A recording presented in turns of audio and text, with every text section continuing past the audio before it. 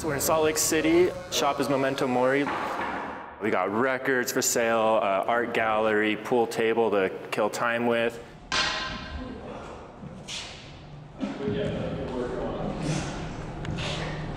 This is my actual first fighter that I've uh, had the opportunity to cut their hair.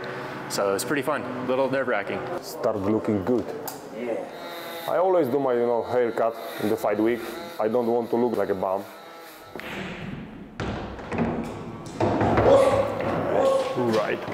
Final look. Perfect. Got a nice skin fade. Feeling ready to kick ass? Oh yeah. Good luck this weekend. Thanks.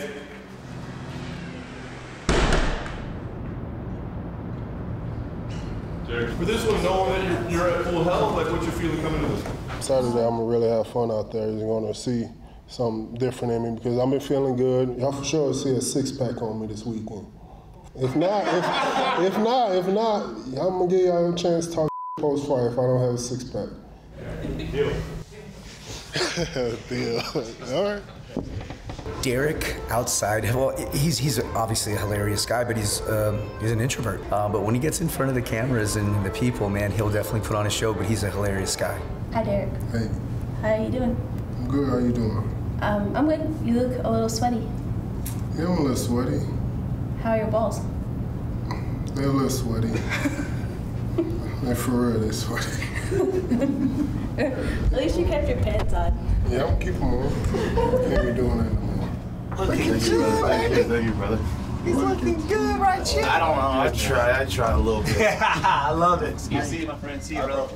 This is what I do. This is what oh I do. Good. When I saw him, I was like, ooh. You heard that? I mean, you got a reaction from me. I was like, God damn, this boy look good.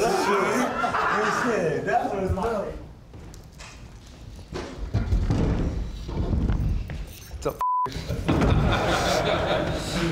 Oh man, Bobby Green, uh, veteran of the sport, obviously uh, entertaining style. I mean, what are you expecting? The way you guys match up, it seems like it could be a pretty wild fight in there. I think he's a confused individual. Now, I'm not going to call but I just saw him in the lobby not too long ago. But when he saw me, he looked like he saw the fourth horseman of death. I don't really demand presence, but everybody gets quiet when I walk into a room. That dude was really quiet. Like, what do you feel about your future in the sport? Is it safe to say, like, no amount of setbacks or anything are going to push you out? No, I'm you. I'm going to be done when I want to be done. But I'm also going to have to do what I have to do in order to get to where I want to get. Five fights in the title, baby. I'm out.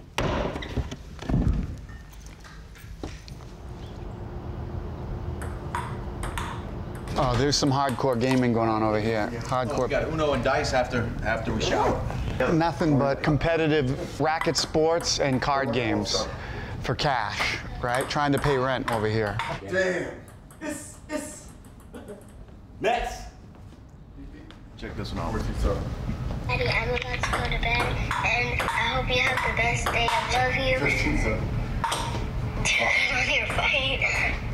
Bye. I love you. Oh my girl. So we had Traeger come out. I got all my family here, my coaches. Figured I would get them fed. We had the Traeger boys. They're based out of here, so they came through and hooked us all up. I should have had him here after weigh-ins.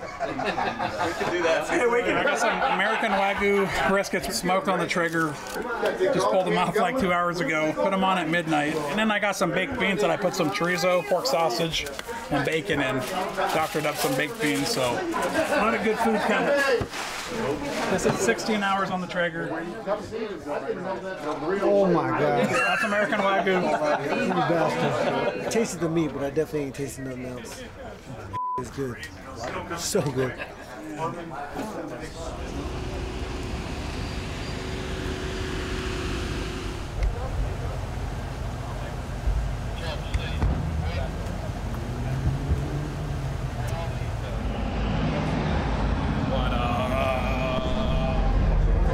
Know if I, I don't know if I can wear it.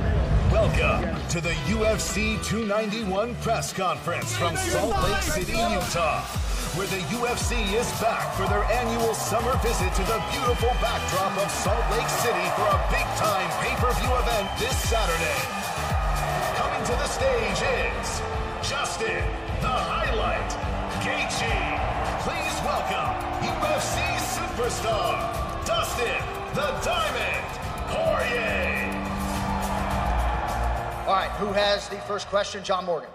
Dustin, I know you've had tremendous success in rematches throughout your career, so I'm just wondering what you attribute that to. Why have you been so successful the second time you get in there with guys? We fought five years ago. Me and my team, this whole camp, we went about this like it was a new fight. My last fights, the growth, my, my confidence, my mindset, all of that, that's what's driving me forward, not that fight. Like I said, this is a new fight. Justin, I want to ask you as well. I mean, uh, you were in there with them. What was the biggest surprise for you in that first fight? Maybe something you didn't expect or something you learned about Dustin Poirier that night? Yeah, I would say his resilience. You know, I uh, landed some big shots. Never once did I feel like he was going to quit or give in. And you know, he's a dog, and I love uh, love these fights. So um, I'm a competitor. I love competition, and I'm here to fight. Questions for Alex. When you see Jan's past fight, he's obviously had a lot of success against middleweights coming up. What do you see from Jan's game that maybe other middleweights haven't been able to take advantage of? Quando ele foi nocauteado, foi cruzado de esquerda. E eu nocauteio todo mundo com cruzado de esquerda. Se ele pensar nisso, pô, ele não vai ter um bom desempenho, né? Ele tem que esquecer tudo isso e, pô, focar só no sábado. Obviously, Jamal Hill has vacated the belt, so I'm curious, do you view this as the number one contender fight for a possible fight for a vacant title? Of course, after Saturday, I'm gonna be next fighter for the title shot. I believe in that.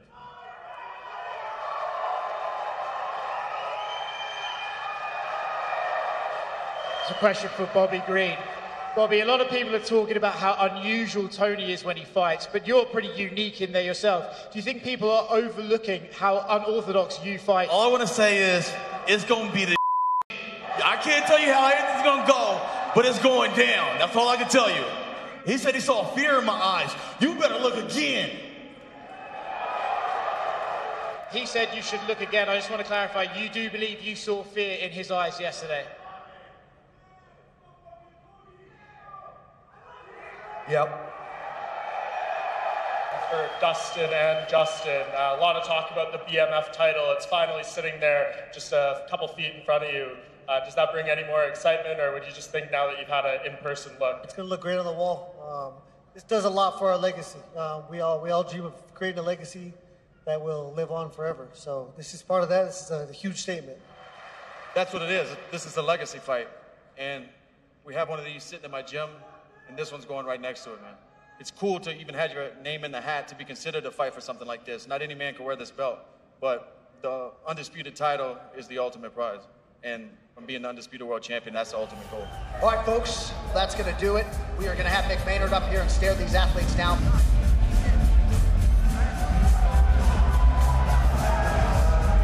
Don't be a ring? Yeah, here it is right here. gentlemen. Sir, Have a great night.